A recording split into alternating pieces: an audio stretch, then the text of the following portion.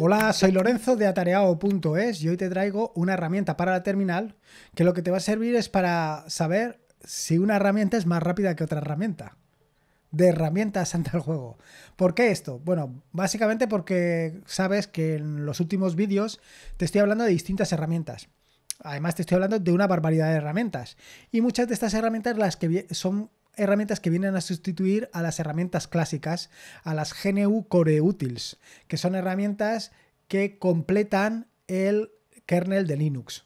Sin embargo, eh, estás viendo que todas estas herramientas implementadas en Rust tienen muchas más características, son mucho más novedosas, están eh, programadas utilizando eh, las ventajas que nos ofrece Rust, pero siempre te queda la duda de cuál de las dos será mejor, si las Core Utils, si las GNU Core Utils o las que se están implementando nuevas utilizando Rust o utilizando cualquier otro lenguaje de programación. Esto de cuál de las dos herramientas es mejor, pues es siempre muy relativo, porque es mejor, pero ¿para qué? Mejor en qué condiciones, mejor bajo qué supuestos. Eh, que una cosa sea mejor, tienes que establecer exactamente cuáles son los parámetros que definen efectivamente qué es mejor que qué. Uno de estos parámetros podría ser, por ejemplo, la rapidez con la que se ejecutan estas aplicaciones, la rapidez con la que se ejecutan estas herramientas. ¿Y cómo medimos esta rapidez? Bueno, pues podemos hacerlo de la forma tradicional. Con cronómetro en mano lanzamos una aplicación, cronometramos, vemos el tiempo que ha tardado, lanzamos la segunda aplicación, cronometramos, vemos el tiempo que ha tardado y comparamos. Evidentemente, con una sola medición es un poco chunguillo, con lo cual podemos hacer estas operaciones varias veces y calcular el promedio. Pero bueno, requiere que estemos allí con nuestro cronómetro en mano y viendo exactamente qué es lo que, cuál de las dos funciona, cuál de las dos no funciona, cuál de las dos es más rápida, cuál de las dos es menos rápida. Y al final esto es un poco problemático, porque bueno, pues al final el darle al cronómetro es peligroso. ¿Qué solución tiene esto? Bueno, pues la solución es recurrir a otra herramienta que sea capaz efectivamente de realizar este trabajo por nosotros. Una herramienta de benchmarking una herramienta que se encargue de realizar estos procesos. Y una de ellas, una de estas herramientas, claramente es Hyperfine. Hyperfine es una herramienta que nos permite obtener estos valores, pero además de una manera eh, mucho más metódica y obteniendo un análisis estadístico de los resultados que se han conseguido con cada una de las herramientas que queramos comparar. Nos permite establecer cuántas veces queremos ejecutar, tiene soporte para diferentes comandos, con lo cual todo esto lo puedes hacer fácilmente. Eh, te permite limpiar la caché para em, que las cosas sean mucho más prácticas. Y te permite exportar todos los resultados a diferentes formatos, como pueden ser CSV, JSON, Markdown, ARCI, esto lo veremos ahora, etcétera, etcétera. Así que, como ves, es una herramienta muy completa. Pero no solamente esto, sino que además es una herramienta que es multiplataforma. La puedes utilizar tanto en Linux como en Windows, como en Marcos, etcétera. En Marcos he dicho, ¿sabes? Etcétera, etcétera. Así que vamos a echarle un vistazo y vamos a hacer algunas de las pruebas que vemos aquí. Incluso la vamos a posteriormente exportar a, a Markdown, a CSV, para que veamos qué, qué es lo que nos muestra. Y básicamente, fíjate, aquí tienes los resultados Vamos a ver.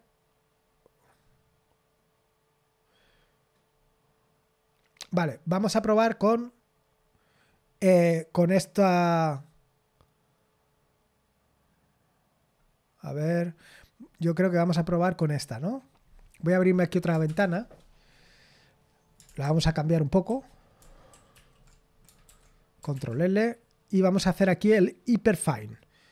Hyperfine a ver, eh, hiper fine.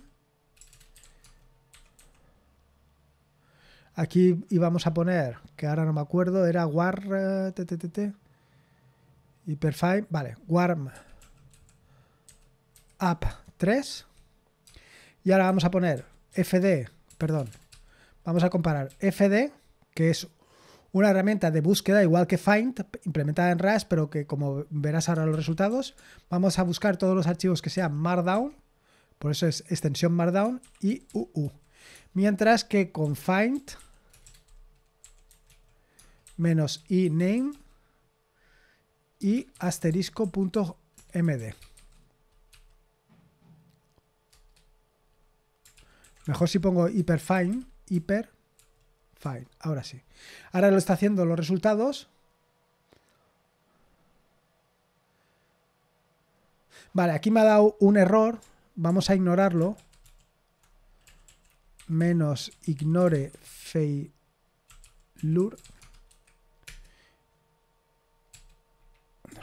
Y lo vamos a volver a ejecutar.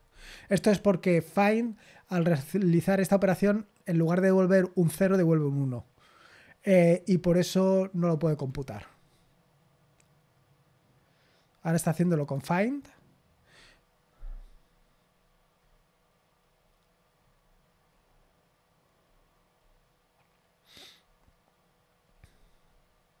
Esto probablemente me lo hayas visto. Mira, ¿ves? Eh, fd-emdu ta, ta, ta, run es 3,65 veces más rápido que find. Em, aquí habría mucho que discutir, pero bueno, así de principio, ser 3,65 veces más rápido, pues ya llama la atención. Vamos a hacer esta otra opción, que es exportarlo. Menos, menos. Vamos a ponerlo aquí al principio. Voy a hacer menos, menos. Menos, menos export. Markdown. Eh, salida.md. Ahora va a volver a hacer todas las operaciones. Y vamos a ver el resultado. Lo vamos a ver con BAT. Bueno, sí, con BAT.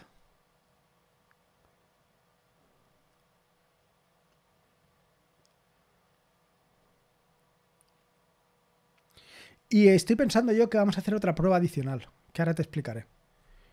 Vamos a ver. Vale. Aquí ha sacado 359. Y vamos a ver en salida.md. Fíjate el resultado. Te lo da una tablita muy asadita ella. Una tablita con el resultado, que básicamente esta tablita es esta. Vale, estoy pensando yo ahora que tengo UU find. Ah, no, pues no, no tengo. UU. No, no está. Qué lástima. Y ugrep tampoco. Bueno, esto que, te que, esto que estás viendo aquí abajo, todo esto, es que he instalado la alternativa a las core utils eh, de GNU implementadas en Rust. Entonces tienes todas estas funciones, como son la función cat, du, ta, ta, ta, ta. lo que no hay algunas, como por ejemplo la función ah, por ejemplo, tiene la función cat, la función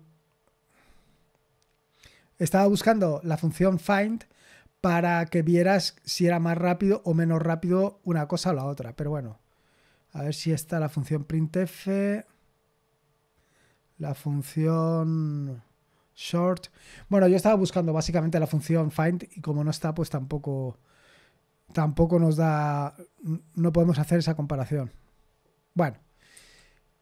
Ya has visto, esto eh, utilizando la salida en MD. También podríamos hacer la misma salida, pero en vez de con MD la podemos hacer con em,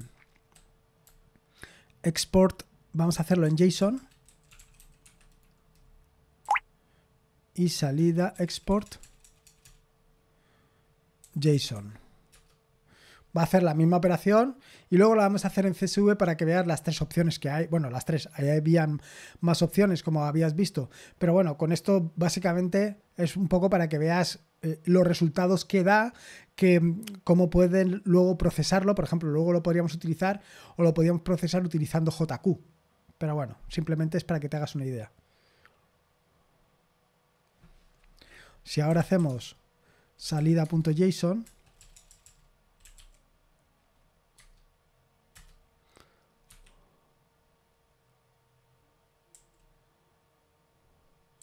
¿Ves? Aquí tienes la misma salida de antes, pero em, los valores en JSON. Y fíjate como aquí la salida del código siempre es cero, mientras que en el caso de find la salida es 1. Por eso da error, ¿vale? Las veces que la ha ejecutado y los tiempos de cada una de las ejecuciones. En este caso, en todos los tiempos es inferior a un segundo. y aquí pues superior. Y esto es un poco lo que quería contarte, para que vieras las opciones. Por último podemos hacer, si quieres, un CSV, pero el resultado va a ser básicamente el mismo. Eh, simplemente por, por... A ver. Hemos dicho CSV. Salida.csv. Y ahora nos va a dar el mismo resultado, lo podemos ver y ya está. Y de esta manera, pues de una manera súper sencilla, comparar y definitivamente si lo que estás buscando es una herramienta que tenga unas prestaciones eh, o que sea realmente rápida, que sea muy ventajosa en cuanto a la rapidez de ejecución, pues con Hyperfine lo puedes hacer. Vamos a ver, un segundito. Y vamos a hacer un bat, un bat no, un cat de salida .csv. ¿Ves? Aquí está lo mismo, pero en CSV. No tiene mucho más misterio. Eh, cosas interesantes de esta herramienta. Bueno, pues decirte que es una herramienta que está implementada en Rust eh, y, y, nada más. A lo mejor piensas, oye, y si está reimplementada en Rust, ¿no estará haciendo algo para que con Rust sea más rápido? Pues no. Bueno, espero que te haya gustado esta herramienta y sobre todo espero que le saques partido esta herramienta porque yo creo que es una herramienta súper, súper interesante. Nos vemos en un siguiente vídeo sobre alguna de estas herramientas para aprovechar. Hasta luego.